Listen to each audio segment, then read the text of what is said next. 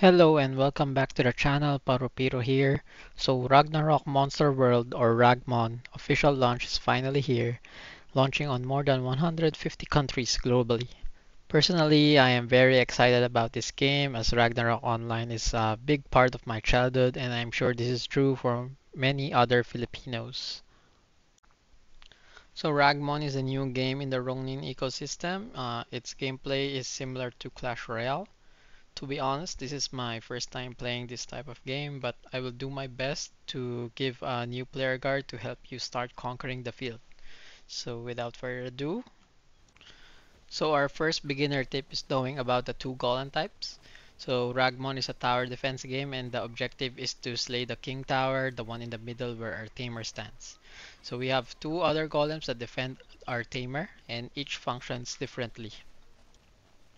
First, the blue golem is melee, has more HP and does splash damage when it attacks. So when pushing this tower, it's best to use single units like Grizzly and Goblin Axe. On the other side is the brown golem. It is range, has lower HP, but does higher single target damage. So against this type of tower, you'd actually like to send some swarm units like Baby Desert Wolf and Savage Bebe. Here we can see a side-by-side -side comparison of how the Baby Desert Wolf fares against both golem types. We can see that the melee tower has an easier time disposing of them while the range tower actually gets destroyed by the Baby Desert Wolves. Number 2 is soul or energy counting. So similar to Axie, paying attention to your enemy's soul count is essential in basic strategy. Both players start the game with 8 soul and gain 1 soul roughly every 2.4 seconds. It's essential to keep track how many energy your opponent has and how many energy he uses so you can adapt your strategy accordingly. Our third tip is to temper your reactions. So it is important not to overreact your opponent's pushes. The ideal is to use the least amount of soul or ragmons in defending while mounting an attack on the opposite side of the map.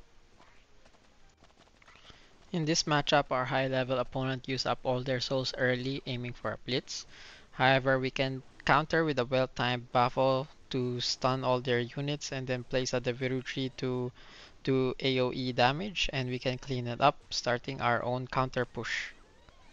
Our opponent will struggle to defend having exhausted all of his energy in the initial push, so we can press our advantage some more, maximizing our efficiency with single unit comps against the AoE blue golem. With this, we can see that even though we spent roughly the same amount of souls, uh, we have damaged their towers more, even though their units are also higher leveled compared to us. Moving forward, our fourth tip would be to use your health as a resource.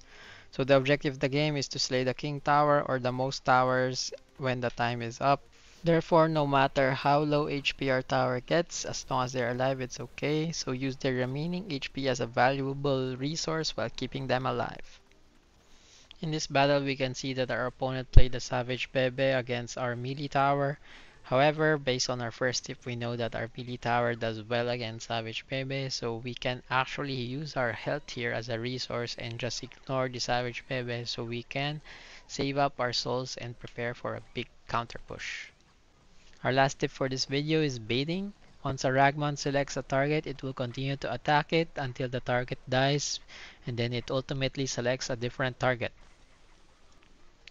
Use this concept to bait enemy powerful Ragmons into attacking your weaker mons while having your stronger monsters finish them. One good use case is baiting a Nidhogg with a level 1 mon such as a Poring and then dropping a Disguise or a ranged unit to attack the Nidhogg while it's preoccupied. Here in this example, we can see that our level 5 Holden is barely able to kill uh, the opponent Nidhogg with some proper baiting. And there we go. These are my basic tips to jumpstart your Ragmon journey. If these are able to help you, do consider dropping a like and subscribing to our channel. And if you have any other tips you'd like to share, do drop them in the comment section below.